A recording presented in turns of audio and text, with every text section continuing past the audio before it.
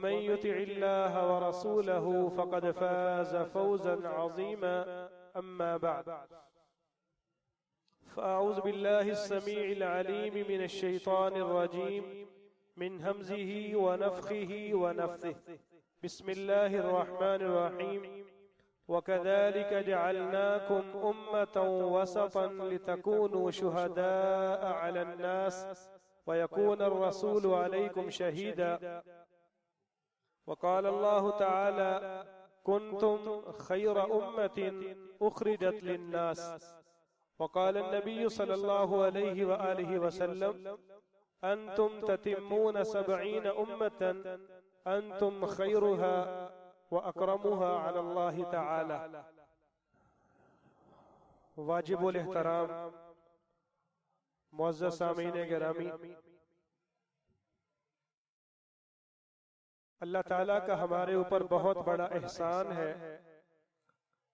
कि रब ताला ने हमें वो हादी, व रहबर, वो मुर्शिद अता किए हैं, जिन जैसा रब कायनात में, तारीख इंसानी में बशर पैदा ही नहीं किया। और हमारा ये ईमान भी है कि आज के दिन इससे कबल और आज के दिन के बाद ता हयात, ता कयामत, उस जैसा बेनजीर और बेमिसाल बशर अल्लाह ताला पैदा भी नहीं करेंगे। वो इतना अजीम इंसान है कि जिस जिस चीज़ की निस्बत उसके साथ जुड़ती चली जाती है, अल्लाह ताला उसको भी इज्जतों से नवाजते चले जाते हैं। इससे बड़ी शहादत और खुश नसीबी की बात क्या है? कि हमारे जैसे गुनागार गुनाहों में डूबे हुए अशखास वो भी अपने आप को मोहम्मद करीम सल्लल्लाहु अलैहि वसल्लम का उम्मती होने पर फखर ख्याल करते। और ये कोई मामूली बात नहीं है कि हमें अल्लाह ताला ने नबी सल्लल्लाहु अलैहि वसल्लम का उम्मती बनाया। है ये बड़े एजाज की बड़े शरफ की बात है। अल्लाह ताला हमें नबी सल्लल्लाहु अलैहि वसल्लम का सही मानों में मुतब और पैरोकार बनने की तोफीक अता फरमाए हमसे पहले जितनी उम्मतें आई रब ताला ने किसी भी उम्मत को ये नहीं कहा कि तुम बेहतरीन उम्मत हो। ये एजाज भी अगर हिस्से में आता है तो अल्लाह के फजल से उम्मत मोहम्मदिया के हिस्से में आता है कि ए मेरे मोहम्मद सल्लल्लाहु अलैहि वसल्लम की उम्मत तुम बेहतरीन जमात और इससे बड़ा एजाज और शरफ ये भी है कि दुनिया में सबसे आखिर में आए हैं इन जन्नत में सबसे पहले जाएँगे।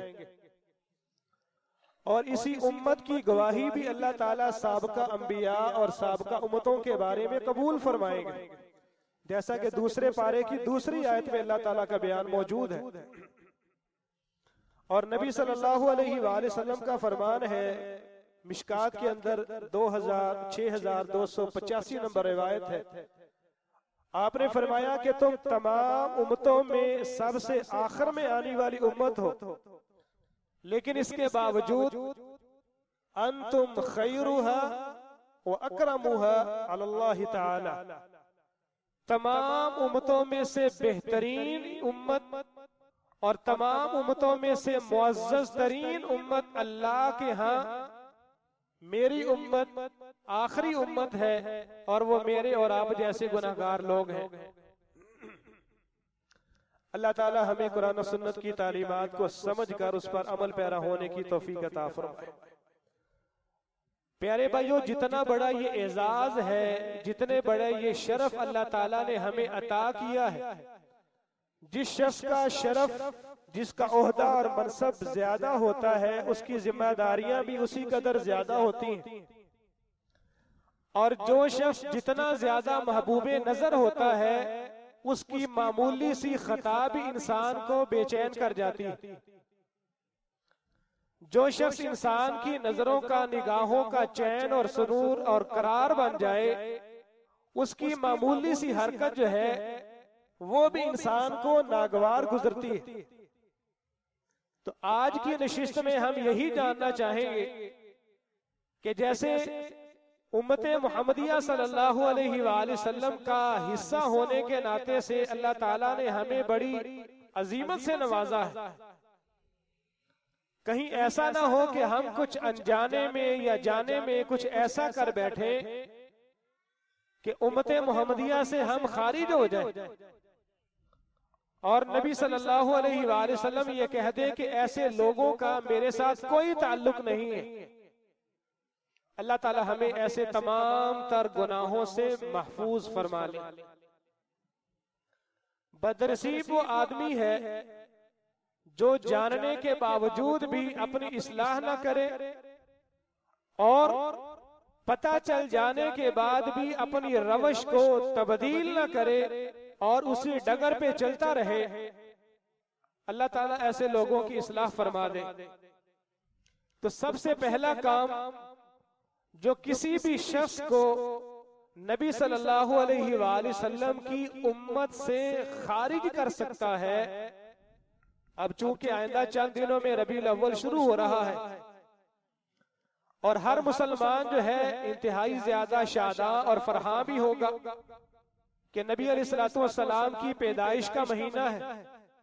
मुसलमानों को खुशी होनी चाहिए, लेकिन असल मोहब्बत की अलामत यह है कि हम आपके लाए हुए दीन के पैरोकार बन जाएँ। जो तालीमात आप हमें सौंप के गए हैं, हम उसके अमीन और पासदार बन जाएँ। ये असल में मोहब्बत का तकाजा है। ये कोई मोहब्बत नहीं है कि इंसान जुबानी कलामी मोहब्बत के दावे अलापता रहे। लेकिन अमली मैदान में बिल्कुल वो कोरा नज़र आए। अल्लाह ताला हमें ऐसे लोगों में से ना करे। सबसे पहला काम अगर कोई गुनाह इंसान के अंदर पाया जाता है तो इंसान उम्मत मोहम्मदिया का बशर नहीं रहता उससे खारिज हो जाता है। वो ये है कि जब इंसान के सामने उसकी इसलाह करने के लिए कि हज़रत आप आपकी फ़िक्र आपकी सोच आपका नज़रिया ये है। लेकिन आपकी फ़िक्र और आपकी सोच और आपका नहज कुरान सुन्नत से मुतसादिम है नबी सल्लल्लाहु अलैहि वसल्लम के फरामीन गिरामिया के बिल्कुल बरअक्स आप चल रहे हैं। नबी सलाम के फरामीन पढ़ पढ़ के दिखाए जाएँ सुनाए जाएँ।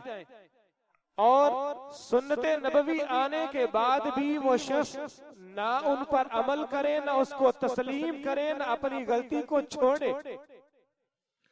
नबी सल्लल्लाहु अलैहि वसल्लम ने फरमाया कि फमन रागिब अन सुन्नती फलैसा मिन्नी। जिस शख्स ने मेरी सुन्नत से मेरे तरीके से मेरे फरामीन से मुँह मोड़ लिया। ये कैसे हो सकता है कि वो मेरा उम्मती रहे?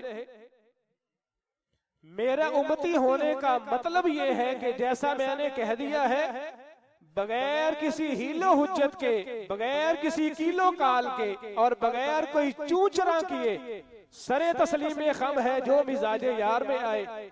इंसान अपनी गर्दन को झुका ले। कुरान में यही अल्लाह ताला ने मोमिनों की शान बयान की है। वमा कान लिमुमिन वला मुमिनतिन इज़ा कज़ल्लाहु व रसूलुहु अमरन। किसी मोमिन मर्द के लिए किसी मोमिना औरत के लिए ये बात उनके शयान शान नहीं है कि जब अल्लाह और उसके रसूल का फैसला आ जाए और वो फिर अपने इख्तियारात और चूके चुनाचे में पड़ जाए फरमाया कि जो शख्स इसके बावजूद भी अल्लाह और उसके रसूल की नाफरमानी करेगा मुबीना वो शख्स तो वाजे गुमराही में। आज कितने ऐसे हमारे मुआशरे के अंदर हमारे भाई मौजूद हैं मुसलमान हैं हमारे साथ चलते फिरते हैं उठते बैठते हैं। लेकिन जब हम उनकी सलाह की खातिर बात करते हैं कि मोहतरम ये जो बात जिसको आप सवाब समझ के कर रहे हैं जिसको आप अपने ताई नेकी ख्याल करते हैं ये नेकी नहीं है। जिसको आपने बारहा मरतबा कर करके दीन का अपने तौर पर ही हिस्सा समझ रखा है ये दीन का हिस्सा नहीं है। लेकिन सितम बाला सितम ये है कि हम कुरान और हदीस सुनने के बावजूद भी इस बात का इनकार करते चले जाते हैं और सिर्फ़ इस वजह से किसी बंदे की बात नहीं मानते कि चूँकि ये हमारे बुज़ुर्गों और मशाह का पैरोकार नहीं है, इसकी बात दुरुस्त नहीं हो सकती। अरबी के अंदर एक बात कही जाती है कि काला। ये देखो कि बात क्या हो रही है, बात किसकी की जा रही है? ये ना देखो कि बात कौन कर रहा है, बात करने वाला कोई भी हो सकता है। आपने ये देखना है कि वो जो बात कर रहा है उस बात का वज़न क्या है? उसकी बात किस पाए की है? क्या वो बात कुरान सुन्नत से मुतसादिब है कि कुरान सुन्नत के मुवाफिक है? अगर कुरान सुन्नत के मुवाफिक है उसकी बात को दिल से लगा लिया जाएगा वो हमारे सरों का ताज होगा। और चाहे बात करने वाला मुआशरे में जितना बड़ा बर्जी मुआज समझा जाता हो जितना बड़ा मर्ज़ी उसने जुब्बार कुब्बार दस्तार सर पे ली हो। लेकिन अगर किसी शख्स की बात प्यारे नबी की बात के खिलाफ जाती है। रब ताला के फरामीन और कुरान की तालीमत के बरक्स हुक्म देता है। उसकी उसकी बात को दीवार से मार दिया जाएगा। और कुरान और सुन्नत पर अमल करके अपने आप पे फख्र महसूस किया जाएगा। और यही एक मुसलमान की शान है। और यही उम्मती होने का सही माना है कि मोहब्बत का तकाजा यह है कि आपकी बात को तमाम बातों से इज़्ज़त दी जाए। आपकी बात को, आपके फरामीन को तमाम लोगों के अकवाल से, अफआल से मुकदम ख्याल किया जाए। यही असल में इज़्ज़त है। यही असल में मोहब्बत की बात है। इसको मोहब्बत के दावे कर लेना बड़ा आसान है। बात यह है कि इंसान उस मैार पे पूरा उतरे जो मैार प्यारे नबी ने हमसे तकाजा किया है। और नबी सल्लल्लाहु अलैहि वसल्लम ने फरमाया था। जनाब अब्दुल्लाह इब्ने उमर बयान करते हैं कि वो बैन यदैसा बेसैफ मुझे और कयामत को इंतहाई करीब करीब भेजा गया है। और मुझे तलवार दे के भेजा गया है।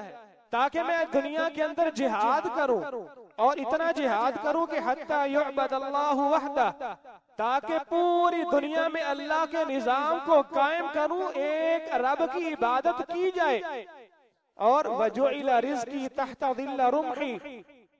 फरमाया कि अल्लाह ताला ने मेरा रिज्क जो है, मेरा नसीब और मेरा मुकद्दर माले गनीमत की सूरत में मेरी तलवार और मेरे नेजे के साय तले रख दिया है। अमरी।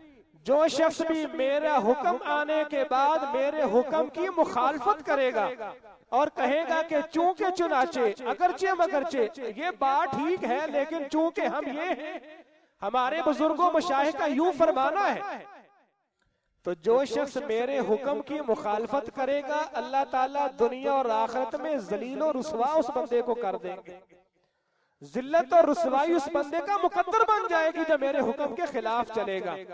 अल्लाह ताला ने इज़्ज़त और शरफ रखा है तो आका करीम की इतात के अंदर रखा है। अल्लाह के फजल से उलमा के लोग जूते उठाने में शरफ महसूस करते हैं फख्र महसूस करते। हैं वजह सिर्फ़ और सिर्फ़ ये है कि उलमाए रब्बानीयीन जो है, उनकी निस्बत प्यारे नबी की तरफ़ होती है, उनके दीन के अलम बरदार होते हैं और दुनिया के बड़े बड़े चौधरी बड़े बड़े वडेरे बड़े बड़े ओहदे और मनसब वाले। बड़ा बड़ा माल रखने वाले जैसे ही मुँह उधर फेरते हैं लोग गालियाँ बकते हैं लान तान करते हैं। फ़र्क सिर्फ़ और सिर्फ़ ये है कि एक आदमी की निस्बत प्यारे आका की तरफ़ है और अमली तौर पर उस पर पूरा उतरने की कोशिश भी करता है। जनाब मुआविया रज़ी अल्लाह तु बयान करते हैं। जनाब जाबिर रज़ी अल्लाह तु रिवायत बयान करते हैं। अल्लाह के रसूल सल्लल्लाहु अलैहि वसल्लम फतेह मक्का के साल एक सफ़र पर निकले। रमज़ान में मुबारक का महीना था। हत्ता के आप कुरा एक जगह है वहाँ पर पहुँच गए। नबी सलाम ने रोजा रखा हुआ है। आपके सिहाबा ने रोजा रखा हुआ है। और महीना कौन सा है? जी? यानी मैं अकेला ही बात कर रहा हूँ। महीना रमज़ान का है। रमज़ान का महीना है, फतेह मक्का का साल है। और नबी सलाम रोज़े से हैं। आपके सिहाबा भी रोज़े से हैं। रमज़ान का बताने का मकसद ये है कि फर्जी रोजा है। जब नबी सलाम उस मुकाम पे पहुँचे, आपने ये ख्याल किया कि सफ़र लंबा है? मुशक्कत है। रोज़े से सिहाबा निडाल हो जाएँगे। इस इनकी कुत जो है वो जायल हो जाएगी। क्यों ना रोजा इफ्तार कर लिया जाए और ये अच्छे तरीके से सफ़र जारी रख सके और अल्लाह की राह में जिहाद कर सके। नबी सलाम ने सिहाबी से पानी मंगवाया और पानी का बर्तन बुलंद किया। बर्तन को उठाया, प्याला बुलंद किया ताकि तमाम सिहाबा देख ले। और आपने फिर एक जगह पर खड़े होके उस पानी को पी लिया। ये बतलाना मकसद था कि मैंने रोजा इफ्तार कर लिया है अलबत्ता तुम सारे रोजा इफ्तार कर लो। एक वक्त गुजरा चंद लम्हात के बाद एक सिहाबी ने आके कहा अल्लाह के रसूल सल्लल्लाहु अलैहि वसल्लम लश्कर में कुछ ऐसे अफराद मौजूद हैं जिनका ये मानना है कि हमारी कुत अल्लाह के फजल से बड़ी अच्छी है। हम सफ़र करने के बावजूद जिहाद करने के बावजूद शाम तक रोजा निभा लेंगे। नबी सलाम ने फरमाया कि चूँकि मैंने रोजा इफ्तार कर दिया है। इन्नी अतकाकुम अक्षाकुम लिल्लाह। मुझ पर अल्लाह की वही नाजल होती है। मैं तुमसे ज़्यादा अल्लाह से डरने वाला हूँ। जब मैंने रोजा इफ्तार कर लिया है तो ये लोग कौन होते हैं? रोजा इफ्तार ना करने वाले। आपने फरमाया कि उसा ये वही लोग हैं जो नाफरमानियाँ करने वाले। ये एक जायज़ काम था। रमज़ान का फर्जी रोजा था। लेकिन इताद ये है कि आपसे एक मिनट की भी आगे अपने आप को मुकदम नहीं करना। एक कदम आपसे आगे निकलने की कोशिश नहीं करनी। आपके कदम मुबारक पर कदम रखते रखते चलते जाएँगे। इनशाला रब ताला की जनतों के हकदार बन जाए।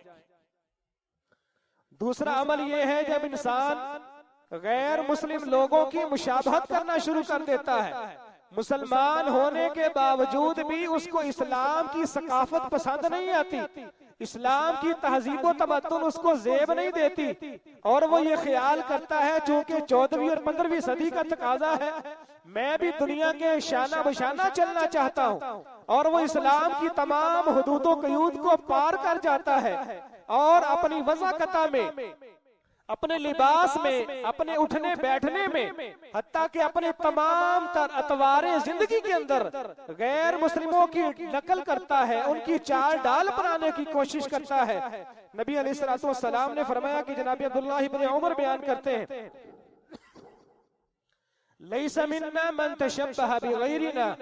जिस शख्स ने हमारे अगियार की मुशाबत अख्तियार की हमारे गैर की, गैर मुस्लिमों की जिसने नक्काली की, ऐसे आदमी का मेरे साथ कोई ताल्लुक नहीं है। आप सल्लल्लाहु अलैहि वसल्लम ने फरमाया कि फइन्न तस्लीम अल यहूदी अल इशारत बिल असाब यहूदी जब सलाम करते हैं, अपनी उंगलियों से सलाम करते हैं। व तस्लीम अल निसार अल इशारत बिल अकुफ। और ईसाई जब सलाम करते हैं तो अपनी हथेलियों से करते हैं। नबी सलाम ने तालीम ये दी है कि अपनी ज़ुबान से भी सलाम पुकारा जाए और अपने हाथ से हाथ मिला के मुसाफा अच्छी तरह किया जाए। ये इस्लाम की तालीमत है। आज है वो गुड मॉर्निंग और गुड नाइट कहने वालों के लिए लम्हा फिक्रिया है कि हमने इस्लामी तहजीब और सकाफत को फरामोश कर दिया है। रब ताला हमें अपनी इसलाह की तोफीक अता फरमा दे और तीसरा अमल आज बहुत बड़ा फखरिया नारा लगाया जाता है। मुझे थे सब कुछ। मुझ नहीं तो कुछ नहीं।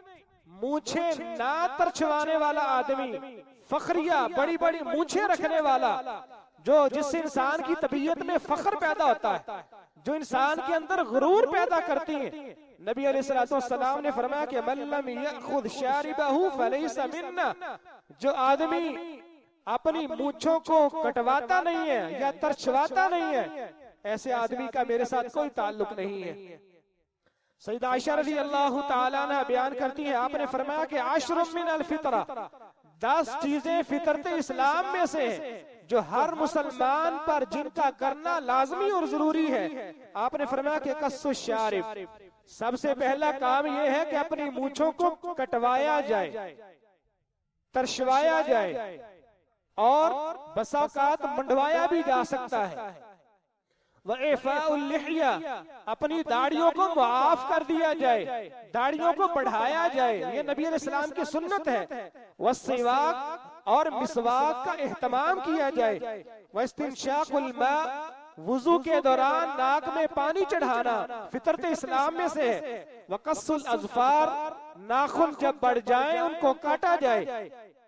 वगसलुल बराजिम वज़ू के दौरान अपनी उंगलियों के जोड़ों को अच्छी तरह धोना व नतफुल इबित अपनी बगलों के बालों को साफ़ करना व हल्कल आना और अपने जेरे नाफ जो बाल हैं उनको साफ़ करना। व इंतकासुल और इस्तिंजा करना। इस्तिंजा के अंदर पानी का इस्तेमाल करना। यह फितरत इस्लाम में से है। नबी सलाम की तारीमात में से ये भी है कि इंसान अपनी वजाकता के अंदर, अपनी बाल कटवाने में, बढ़ाने में इस्लाम को अपना शियार बनाए, इस्लामी तालीमत पर अमल करके अपने आप को सादतमंद समझे। ये ना हो कि इंसान ने आधे सर पे बाल रखे हों और आधे सर के बाल मुंडवा रखे हों। ऐसा काम करना यहूदियों का वतीरा है। सिहाबी बयान करते हैं अब्दुल्ला इब्न उमर, नहा रसूलुल्लाह सल्लल्लाहु अलैहि वसल्लम अनिल कज़ा। आप सल्लल्लाहु अलैहि वसल्लम ने कज़ा करने से मना किया है। पूछा गया कि ये कज़ा से क्या मुराद है? तो बतलाया गया कि आधे सर के बाल रख लिए जाएँ और आधे सर के बाल को मुंडवा दिया जाए। इसको कजा कहा जाता है और फरमाया कि तरीका यहूद, ये यहूदियों का तरीका है। या तो सारे बाल के सर के बाल बढ़ा लिए जाए या सारे सर के बाल जो है वो मुंडवा दिए जाए। ये नहीं है कि आधे बढ़ा लिए जाए और आधे छोड़ दिए जाए। ये इस्लाम का तरीका नहीं है। आज हम भी अपने बच्चों की बड़ी बड़ी प्यारी सी कटिंग करवाते हैं। को फौजी कटिंग है तो पता नहीं क्या क्या प्याला कटिंग है। तो हमें ये देखना है कि इस्लामी तालीमत के मुताबिक कौन से बाल है। अल्लाह ताला हमें अमल की तोफीक अता फरमाए चौथे नंबर पे वो तमाम मर्द जिनको अल्लाह ने मर्द बनाया है वो मर्द होने के बावजूद औरतों की मुशाबत करते हैं। और वो तमाम औरतें जिनको अल्लाह ताला ने औरत बना के इंसान की ज़िंदगी की और घर की जीनत बनाया है। वो औरत होके भी मर्दों की मुशाबत करती हैं कि हमने मर्दों के शाना बशाना चलना है। औरत कौन सा किसी से कम है? दुनिया के हर महाज में हर मैदान में। हमने अपने आप को सफे अव्वल में रखना है। तो ऐसी औरतों के लिए भी लम्हा फिक्रिया ये है। जनाबी अब्दुल्ला उमर बयान करते हैं। सही जामे के अंदर रिवायत मौजूद है।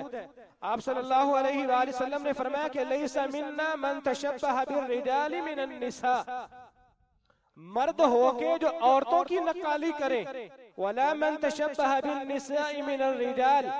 और मर्द होके औरतों जैसा और औरत होके मर्दों जैसा बनने वाले लोगों पे अल्लाह ताला ने लानत फरमाई है। और एक दूसरी रिवायत का मफहूम ये है, आप सल्लल्लाहु अलैहि वसल्लम ने फरमाया कि सलासतुन ला यदखुलून जन्ना। तीन बदनसीब ऐसे हैं जो बगैर तौबा के मर गए तो अल्लाह की जन्नत में नहीं जा सकेंगे। अलाकुल वालिदैन। वालिदैन का नाफरमान बगैर तौबा के मर गया अल्लाह की जन्नत में जाना भूल जाए। वदयूस और ऐसा गैरत से आरी शख्स जिसके घर में बेगैरती का धंधा हो रहा हो और वो आँखें बंद कर ले। और रजलतुलनिसा और औरत होके मर्दों जैसा बनने की कोशिश करे। या मर्द होके औरतों की नकाली करे। ऐसे लोग अल्लाह की जन्नत में दाखिल नहीं हो सकते। और नबी सलाम ने फरमाया कि वल मुस्तौसिला। वल वाशिमा वल मुस्तौशिमा। अपने सर पे नकली बाल विग की सूरत में लगाने वाले मर्द लगवाने वालियाँ औरतें और अपनी खूबसूरती के लिए चेहरे में सुराख करके तिल लगाने वालियाँ। दांतों में सुराख करके उसमें जो है वो सुराख ज़्यादा करना ताकि दांत कुशादा नज़र आए खूबसूरती में इजाफा हो। इन तमाम तर मर्दों और औरतों पे अल्लाह ताला ने लानत फरमाई। पाँचवें नंबर पे जो लोग अपने बड़ों की ताजीम नहीं करते बड़ों का एहतराम नहीं करते छोटों पे शफकत नहीं करते ऐसे लोग भी उमत मोहम्मदिया के साथ उनका ताल्लुक नहीं है। जनाबी अनस बयान करते हैं रज़ी अल्लाह आप सल्लल्लाहु अलैहि वसल्लम ने फरमाया कि लैसा मिन्ना मन लम यरहम सगीरना व युअक्किर कबीरना। जो शख्स अपने छोटों के साथ शफकत नहीं करता और जो छोटे अपने बड़ों का एहतराम नहीं करते, ऐसे लोगों का मेरे साथ कोई ताल्लुक नहीं है। और अबू मूसा रज़ी अल्लाह बयान करते हैं सही उलजामे की रिवायत है। आपने फरमाया कि इन्ना मिन मुस्लिम। किसी बूढ़े बुज़ुर्ग मुसलमान का एहतराम करना अल्लाह की बुजुर्गी पा लेने के मुतरादिफ है। वह हामिल कुरान और किसी दीनदार का आलिम दीन का कारी कुरान का एहतराम करना। गैर अलगाली वल जाफी अन जो बामल शख्सियत है जो बेअमल नहीं है गाली नहीं है। उस शख्स का एहतराम करना अल्लाह ताला का एहतराम करने के या अल्लाह ताला की बुजुर्गी पा लेने के मुतरादिफ है। और इंसाफ करने वाले, अदलो इंसाफ करने वाले हुक्मरान का एहतराम करना, ये भी बड़े शरफ की बात है। अल्लाह ताला से दुआ है कि रब ताला हमें इन तमाम तर उमूर से बचने की तोफीक अता फरमाए। और इस्लामी तालीमत को समझ कर उन पर अमल पैरा होने की तोफीक अता फरमाए अकूल कौली हाजा अस्तगफिरुल्लाह ली व लकुम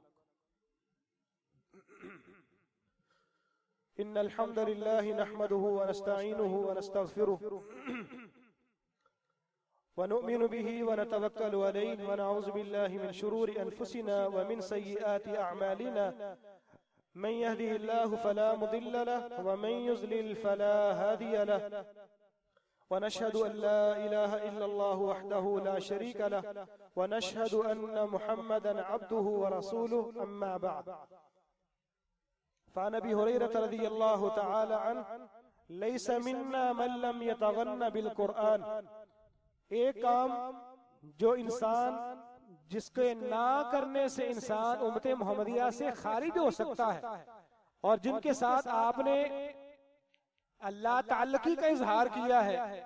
वो ये भी है कि इंसान कुरान करीम को खूबसूरती के साथ ना पढ़े। आवाज़ का खूबसूरत होना ये खुदादा सलाहियत है। लेकिन कुरान मजीद की तालीमत ही हासिल ना करना। अपनी तिलावत में अपनी किरात में बेहतरी पैदा करने की कोशिश ही ना करना। ये नहीं कहा जाता कि आप ज़रूर तजवीदों किरात सीखें और बहुत बड़े कारी बन जाए। लेकिन कम अज कम ये है कि इंसान को बुनियादी कवायद का इलम तो होना चाहिए। कि इंसान जो कुरान मजीद खोल के तिलावत करे इंसान को पता चले कि मेरा रब मुझसे किस अंदाज में मुखातिब है। और इन आयात का मफहूम क्या है? और इन अल्फाज को अदा कैसे करना है? नबी सल्लल्लाहु अलैहि वसल्लम ने फरमाया कि हुस्न सऊत जीनतुल कुरान आवाज़ का अच्छा होना खूबसूरत होना ये कुरान की जीनत में मजीद इजाफा कर देता है। और एक तीसरी रिवायत में आपने फरमाया कि कुरान हसन कुरान हुस्नन। फरमाया कि अपनी आवाजों के ज़रिए से कुरान की किरात को मजीद मुजयन करो। क्योंकि अच्छी आवाज़ से कुरान करीम की तिलावत को उसकी खूबसूरती में चार चाँद लग जाते हैं। तो हमें भी कोशिश करनी चाहिए कि हम जहाँ जहाँ पर भी नमाजें अदा करते हैं। हम वहाँ पे अपने जो इमाम साहेब हैं उनसे दस मिनट का टाइम ले लें। और मेरा नहीं ख्याल कि कोई भी दीनदार आदमी आपकी सहूलत के मुताबिक आपको टाइम ना दे सके। आप जब चाहें किसी भी आदमी से आप कहें आपको वक्त देने के लिए तैयार है लेकिन खुदारा ये है कि हम सीखें। बच्चों के लिए तो हम बड़े पापड़ बेलते हैं, लेकिन ना तो बच्चों की दीनी तालीम के बारे में हम संजीदा हैं।